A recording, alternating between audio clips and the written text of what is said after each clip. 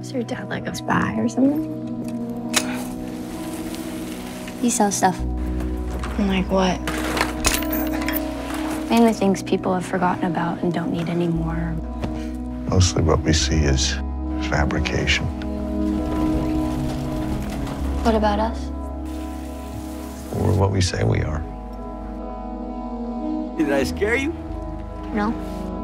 He saw some bad things in the war, and he kind of cut us off from the material world.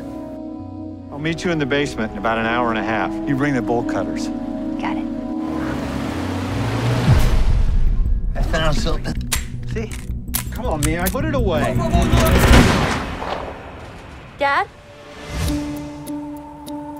What do you do other than worship your dad? I promise I'll explain everything, but we need to leave here right now. And then what? She's growing up, dude. Where are you gonna be then?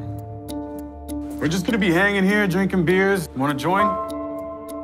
People need pictures and phones to convince themselves they even exist. But not us, because I have you and you have me. Can I come in with you?